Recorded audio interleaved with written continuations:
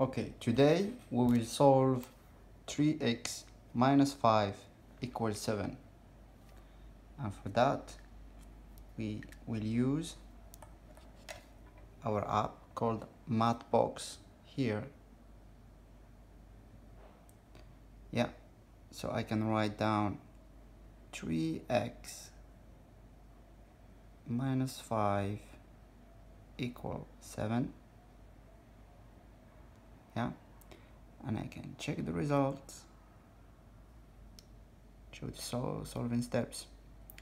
And now I have all the steps that gives me the solution. So now let's implement the steps one by one and see how the app can help us.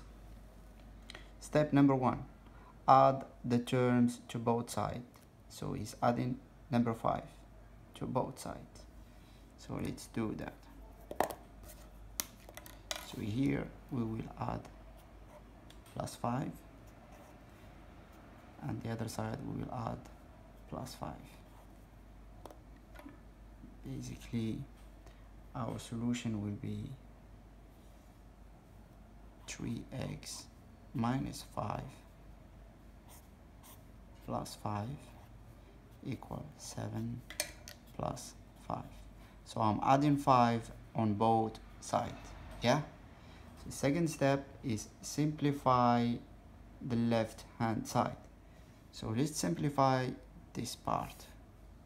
So this part will be 3x minus 5 plus 5 equal 7 plus 5 so minus 5 and plus 5 will be equal to 0 so it will be 3x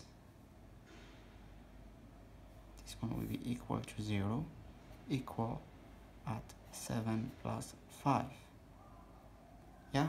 So now 7 plus 5 we can evaluate the arithmetics which is like 7 plus 5 will be equal to 12 so now we are in step 3 step 4 3x equal to 12 yeah?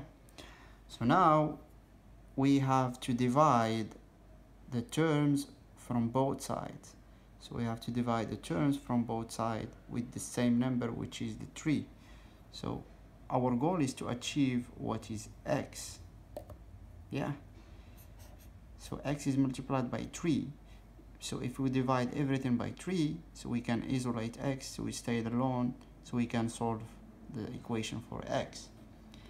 So now we have to divide everything by 3 so divide by simplify by dividing the top and the bottom by the greatest common denominator which is 3 so here will be kind of 3x divided by 3 equal at 12 divided by 3 and then 3 goes with 3 will be x equal to 12 by 3 yeah? So 12 divided by 3 I know that I can divide 12 uh, by 3 because 12 so 12 is equal 3 multiplied by 4 I know that. So the common denominator is 3 so I can do x equal 3 multiplied by 4 divided by 3 because 3 multiplied by 4 it's equal to 12 and now I can simplify with 3 and now I'm only left with 4 so x is going to be equal to 4 and that's the final solution. So that's exactly what the apps is showing me with with following blindly the steps